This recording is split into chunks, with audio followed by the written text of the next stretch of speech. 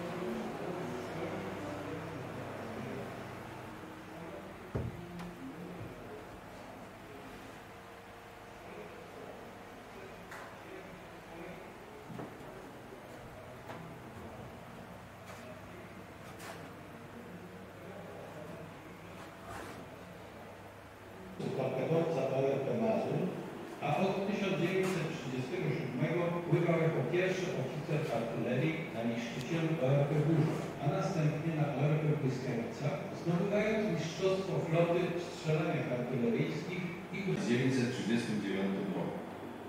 Dowódcą najpotężniejszej i jedynej polskiej baterii czterech działu Forsa o kalibrze 152 i 40 mm, znajdującej się na helskim cyklu. Zbigniew Przybyszewski dowodził tą baterią przez cały okres 32 dni obrony i wbrew zakazowi lekarzy wrócił do swojej baterii, którą dowodził aż do kapitulacji.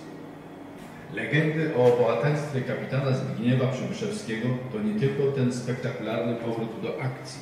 To przede wszystkim fakt, że jako lubiany i cieszący się wielkim zaufaniem dowódca przez cały czas trwania walk nie dopuścił do moralnego rozkładu podległych sobie pododdziałów. Marynarze baterii wiedzieli o załamywaniu się frontów, o szybkim postępie wojsk niemieckich, myśli o przegranej.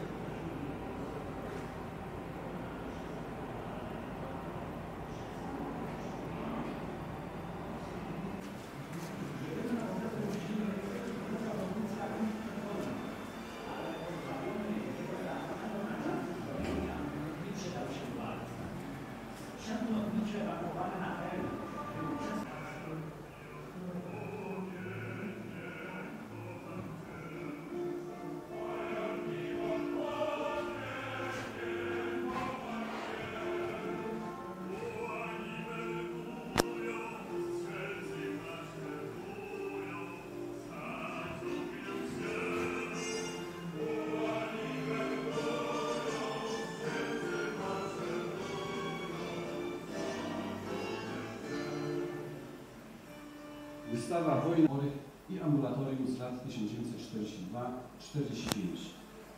Pomieszczenie 16, pierwotnie zaprojektowane i przeznaczone dla marynarzy artylerii nadbrzeżnej Kriegsmarine, dziś mieści gabloty i szafy wypełnione eksponatami medycznymi wykorzystywanymi głównie przez Wojskową Służbę Zdrowia w czasie II wojny światowej, a niektóre z nich opakowano specjalnie na nich.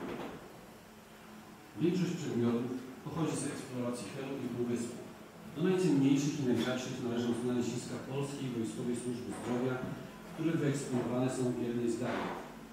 Inne eksponaty pochodzą w większości z niemieckiego wojennego szpitala polowego Kriegslazaret 1 łamane przez 581.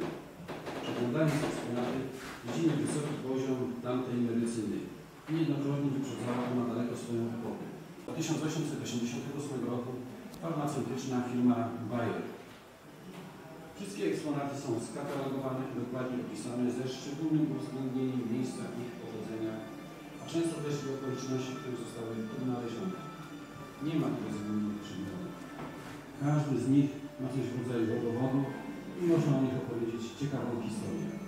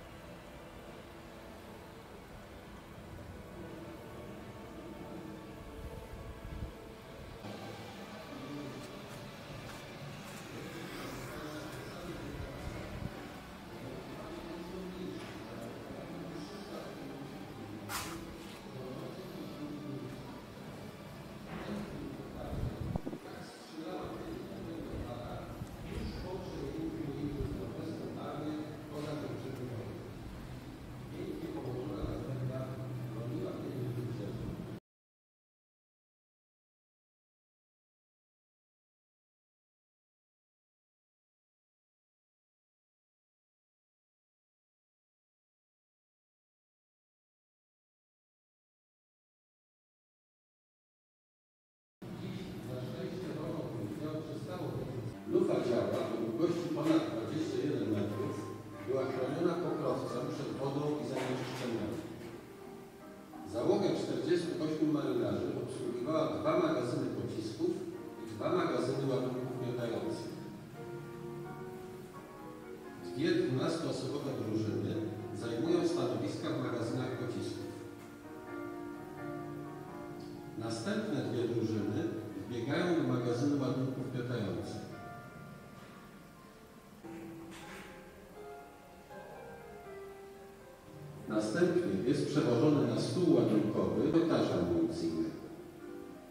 W zależności od odległości i rodzaju celu można wybrać pocisk ważący 600 kg o zasięgu do 52 km lub pocisk ważący ponad wnętrza i zamyka się wewnętrzne drzwi śluzy.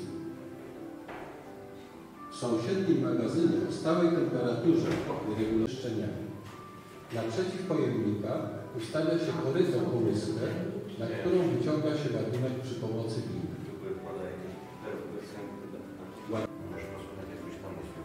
Wielkość ładunku miotającego dobiera się do rodzaju pocisku i odległości strzału. Uzupełnianie amunicji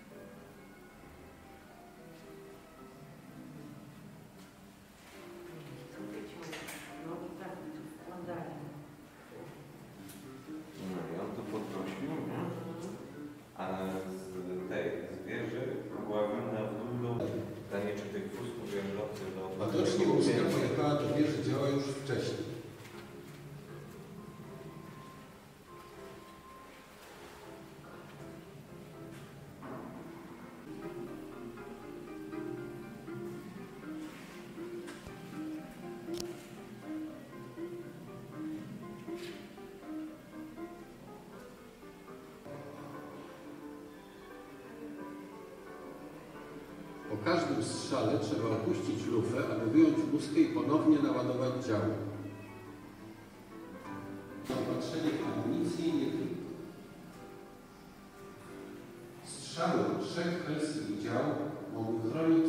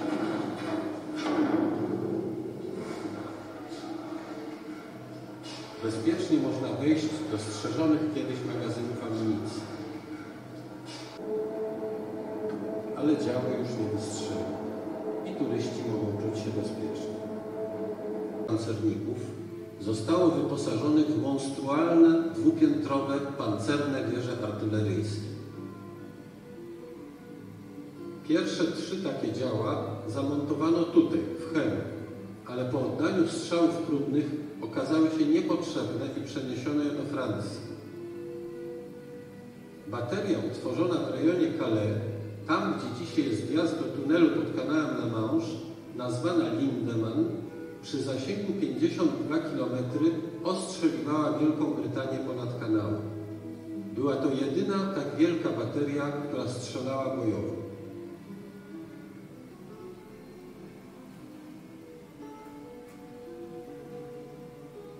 Następne dwie baterie broniły bardzo ważnego strategicznie portu w Narwiku, w zajętej przez Niemców Norwegii.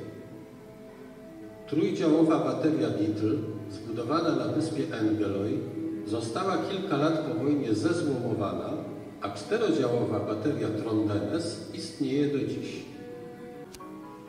Dwie dwunastoosobowe drużyny zajmują stanowiska w magazynach pocisków. Następne dwie drużyny wbiegają do magazynu ładunków miotających.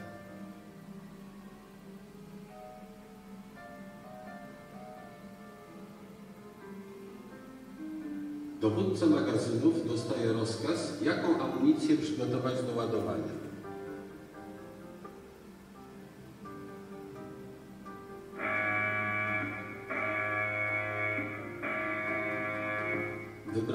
Pocisk jest podnoszony ze stojaka ręcznie podnośnikiem łańcuchowym zawieszonym na szynie pod stropem magazynu.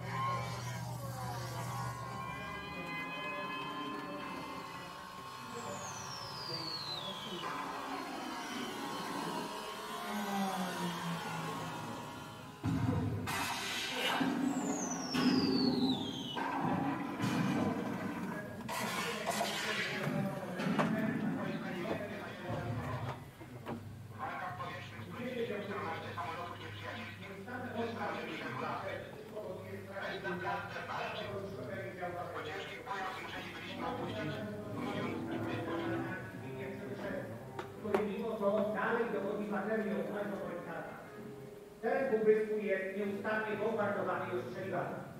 Niemcy bez powodzenia usiłują odpalić helski las. I znów ciężar obrony koncentruje się na oddziałach popów broniących półwyspu i jego nasady.